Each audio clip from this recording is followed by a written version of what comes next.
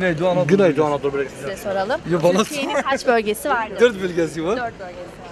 Sayar mısınız? Ee, şey Ege bölgesi, Güneydoğu Anadolu, şey e, Karadeniz, bir de şey Marmara bölgesi. Yedi tane var. Üç tane daha bilmeniz lazım. Kusura bakmayın. Tamam o zaman yedi tane mi var? Şey Doğu Anadolu. Doğu Anadolu. Yani o da Güneydoğu Anadolu'ya geçiyor. İkisi ayrı bölge. Doğu Öyle Anadolu, mi? Güney, Tam Doğu Anadolu, Güneydoğu Anadolu, ee, Ege, Marmara, Karadeniz, beş, Akdeniz. Bir de bir tane daha var. Olmaz. Söylemek yok. Ne var? Hangisi? Ankara nerede? Şey he pardon. Ege, Ege, Ege. yok Ege'yi söyledim ama. Aa, unuttum.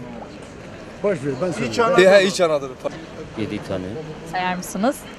Anadolu bölgesi, şey İç Anadolu bölgesi, Güneydoğu, Doğu Anadolu, Karadeniz, Ege, Marmara. Başka? Doğu Anadolu dediniz mi? Deniz, Doğu, Akdeniz. Dememişsiniz doğru. Teşekkür ederim. Bölgesi vardır.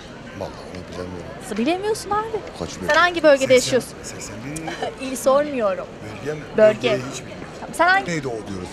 Ama ben Karadeniz var, Güneydoğu var, Akdeniz bölgesi var, e, Marmara bölgesi var.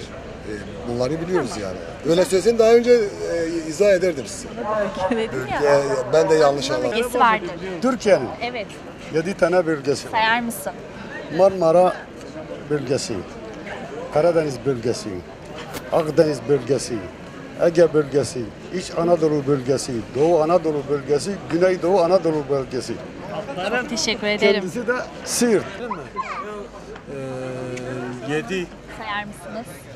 Doğu Anadolu, Güneydoğu Anadolu, İç Anadolu, Marmara, Ege, Akdeniz, e, Karadeniz. Teşekkür ederim. Bölgesi vardır. 7 bölgesi var. Sayar mısınız? İç Anadolu bölgesi, Güneydoğu Anadolu bölgesi, Akdeniz, Karadeniz, eee, Ege bölgesi. Kaç oldu?